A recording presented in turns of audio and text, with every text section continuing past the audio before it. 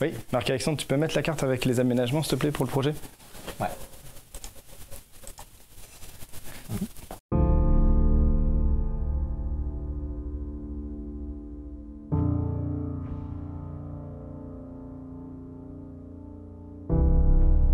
C'est poétique et technique à la fois, ceci est un outil de mesure du vent. Ces mâts impressionnants sont installés là où des éoliennes pourraient être implantées afin de valider les emplacements sélectionnés.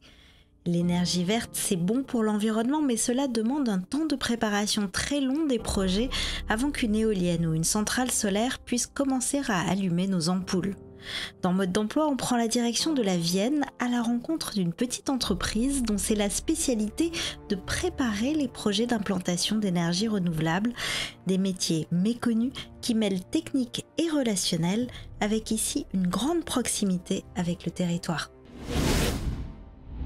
Le développement des projets d'énergie renouvelable euh, en France est vraiment euh, long, c'est euh, plusieurs étapes. Donc on a la première étape finalement d'identification d'un site en fonction d'une cinquantaine de contraintes qui vont permettre de, de mettre ce site en avant comme étant intéressant. une fois qu'on a étudié l'ensemble de ces contraintes, c'est un travail de quelques mois, on va avoir des contacts terrain avec les élus au niveau communal, au niveau intercommunal, les propriétaires, les exploitants agricoles, les associations, les riverains. Et ça, ça va mettre au moins euh, une année de travail de terrain. Et avec, euh, après ça, on va suivre avec l'ensemble des, études sur le, sur le site. Et, ces études prennent au moins un an et demi, puisque l'étude Faune Flore, par exemple, euh, nécessite de couvrir les quatre saisons. Donc ça nous fait à minima une année de, travail sur site. ensuite, on va constituer le dossier d'autorisation environnementale qui va être déposé en DREAL en préfecture, qui vont instruire ce dossier pendant un an à deux ans en général. Et suite à ça, on va avoir les autorisations pour construire le parc éolien ou le parc photovoltaïque. Euh, et ça, ça va prendre encore quelques mois finalement d'autorisation, puis la phase de construction. Entre le moment où on a identifié le site pour l'éolien et le moment où on va vraiment construire l'éolienne et commencer à produire les premiers mégawattheures, en moyenne en France, c'est une période de 7 ans. Ces 7 années de préparation, c'est la spécialité d'Eolise. À contre-courant de beaucoup de startups, elle s'est installée dans la Vienne, au plus près du potentiel énergétique, mais aussi pour développer un relationnel territorial fort. Alors le potentiel existe encore en Nouvelle-Aquitaine euh, puisque c'est une région qui n'était pas la pionnière sur le développement de l'éolien par exemple euh, et euh, il s'avère que actuellement on a un gigawatt d'éolien installé en région Nouvelle-Aquitaine euh, et que les objectifs régionaux qu'on découvre du coup dans le SRADET euh, vont euh, jusqu'à 3,5 gigawatts d'éolien à développer d'ici 2030. Donc ça laisse encore un potentiel finalement éolien à développer, à multiplier finalement par 3 la puissance installée sur le territoire. Et pour le photovoltaïque, c'est la même chose. On a effectivement un potentiel de, de multiplier par 2 ou 3 le, le photovoltaïque déjà installé sur, sur le territoire. Donc ça nous laisse finalement du travail pour euh, au moins euh, une décennie euh, devant nous. C'était aussi une volonté de la société Eolise de s'implanter à Poitiers pour être à proximité des territoires d'études, pas être d'une métropole de Paris par exemple et décider des projets à 500 km. Voilà, vraiment qu'on sente, on est tous plus ou moins du coin, qu'on sent vraiment investi dans les projets qu'on mène. Préparer un projet d'implantation, c'est un savoir-faire multitâche. Comprendre les aspects techniques de l'éolien, mais aussi du solaire, est une étape essentielle, mais pas forcément suffisante de ce métier souvent méconnu, mais en plein développement.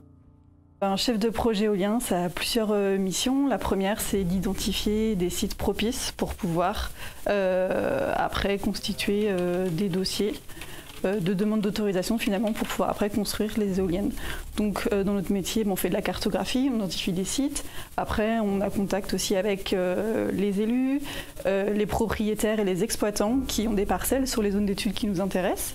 Et après, on est en contact aussi avec des bureaux d'études spécialisés sur la faune, la flore, l'acoustique, le paysage, les études de vent aussi, pour déterminer finalement les implantations euh, les plus propices pour pouvoir faire le meilleur projet possible sur un territoire. Je travaille là-dessus totalement sur une partie technique, donc une recherche de site, une, partie de dimensionnement, euh, des choix techniques, euh, d'optimisation de l'inclinaison des modules, des espacements de modules. Notre métier est avant tout un métier qui est très technique finalement sur l'identification du site, ainsi que l'étude de l'ensemble des contraintes qui, s'y appliquent, et puis tout le, dossier réglementaire et d'autorisation qui, qui suit. Donc c'est un métier qui est très technique, mais finalement une partie importante de notre métier, c'est une partie terrain qu'on fait, c'est de la pédagogie. On fait cette pédagogie auprès des riverains, évidemment, qui sont les premiers concernés, mais également auprès des élus au niveau communal et intercommunal pour qu'on puisse leur expliquer dans quelle mesure ils peuvent finalement euh, utiliser le potentiel de leur territoire pour atteindre les objectifs du SRADET, les objectifs de la loi sur la transition énergétique et la croissance verte.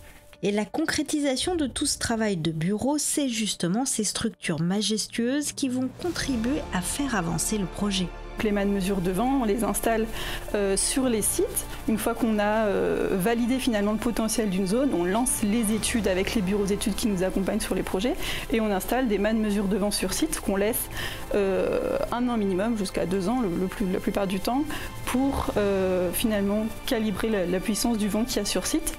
Donc, puis c'est aussi euh, la première chose visuelle qui va se passer sur le site. Donc c'est aussi intéressant pour nous parce que euh, euh, avant le man mesure, voilà, tout, se passe plus ou moins en interne, il se passe rien encore sur le terrain.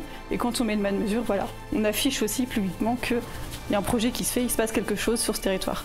Pas de panique donc si vous voyez ce type d'équipement, ce n'est pas l'arrivée de la 5G mais bien le signe qu'un moulin moderne arrive peut-être bientôt sur la colline.